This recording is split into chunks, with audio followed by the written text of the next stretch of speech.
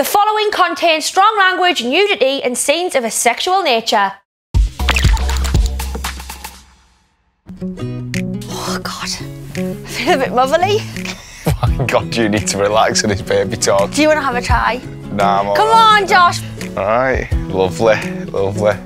Can we put this back now? I think you look a bit like a DILF. All right, come on. Just do, do a little turn with it. Right, come on, we need to hurry up. We need to get going.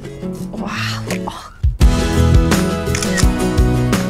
Looking at Josh pushing a pram not only makes us feel massively horny, but it makes us feel so broody.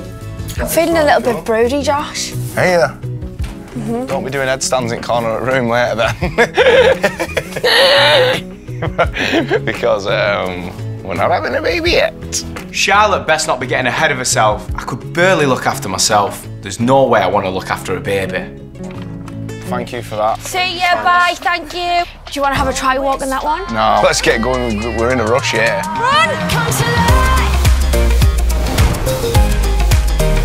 Come to life. I've got the present, now I just need to sort the makeup out.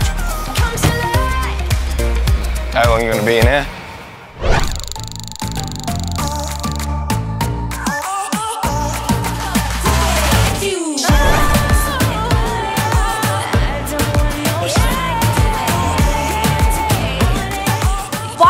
Shop, some fans came over and wanted a photo.